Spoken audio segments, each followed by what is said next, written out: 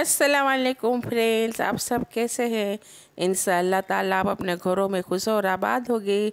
अल्हम्दुलिल्लाह से हम भी सब अच्छे हैं।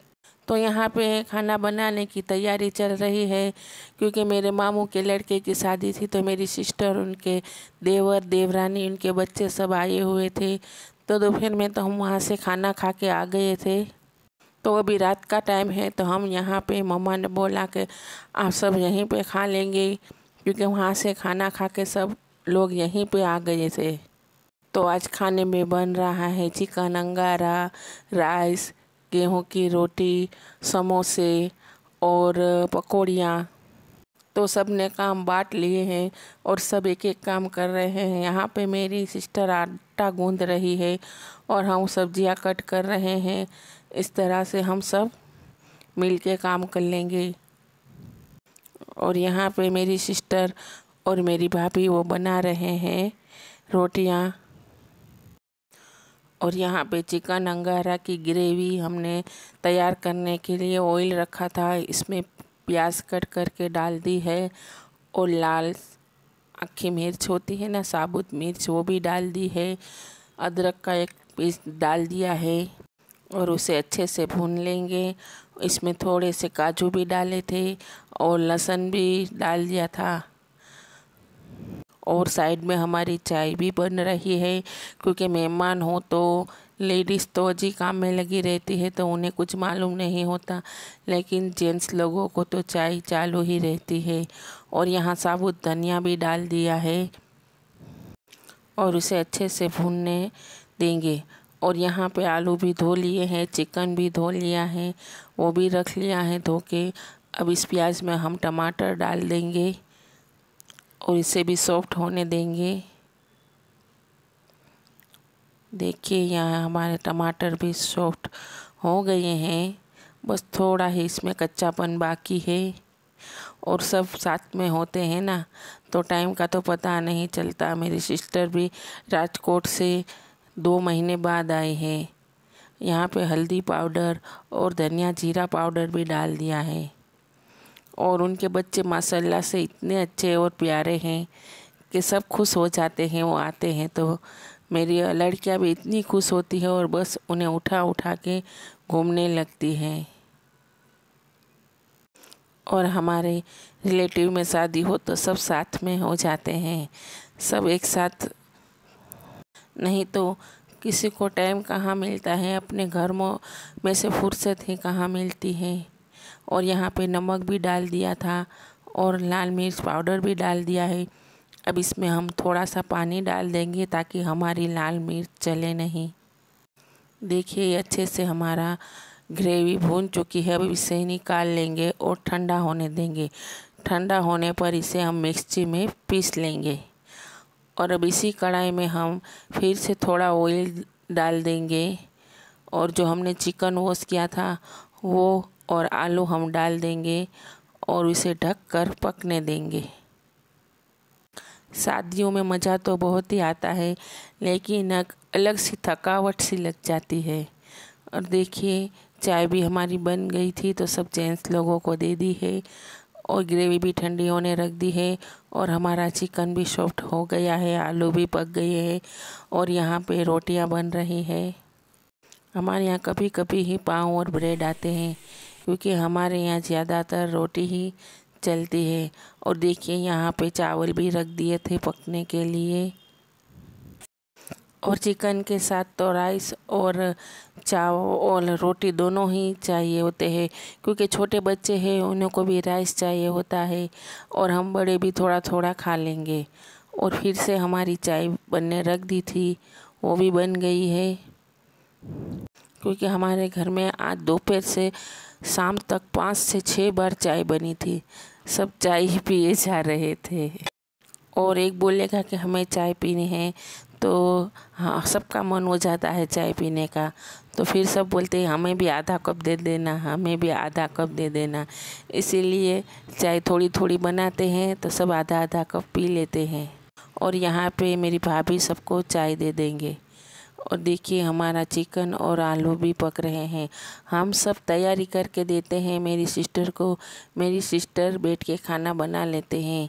हम नीचे सब कटिंग करके इन्हें दे देते हैं। और यहाँ पे मेरी सिस्टर जो हमने ग्रेवी बनाई थी ना, उसे पीस रहे हैं। और देखिए यहाँ पे आलू और चिकन भी अच्छे से भून गए हैं। और इनमें जो हमने जो ग्रेवी तैयार की थी ना, उसे मिक्सर में पीस के हम इसमें डाल देंगे। आप एक बार ज़रूर ये चिकन ट्राई करना।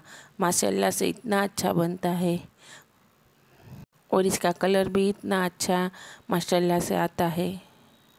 और इसमें थोड़ी सी हम काश्मीरी लाल मिर्च डालते हैं ना तो बहुत ज़्यादा अच्छा कलर इसमें आ जाता है। एकदम रेड वाला।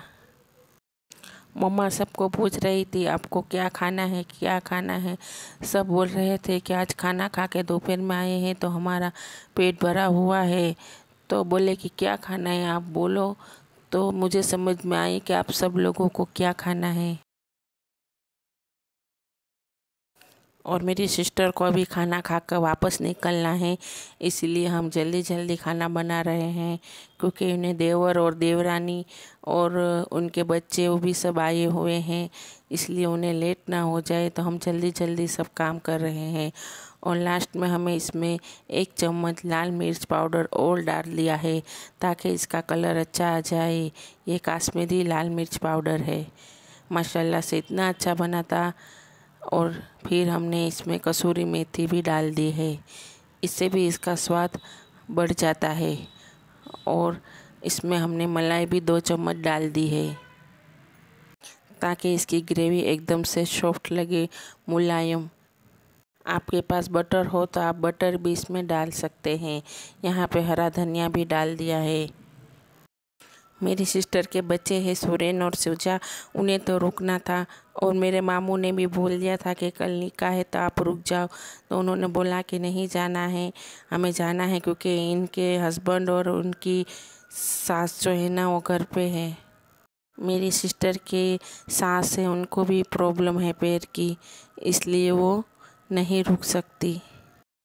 यहाँ पे खाना तो तैयार हो चुका है। और एक साइड समोसे तल रहे हैं और एक साइड पकौड़ियाँ तल रहे हैं। और मेरी सिस्टर बोल रही कि आप सबको खाने की तैयारी कर दो तो वो खा ले। तो दस्तरखान लगा के सब बर्तन ले लिए हैं और उन्हें खाना खाना खाने बिठा दिया है क्योंकि अभी उन्हें राजकोट निकलना है। और ये मेथी की पकौड़ियाँ बन रही है। इसके बाद आलू की पकौड़ी और मिर्च की पकौड़ी भी बना लेगी मेरी सिस्टर।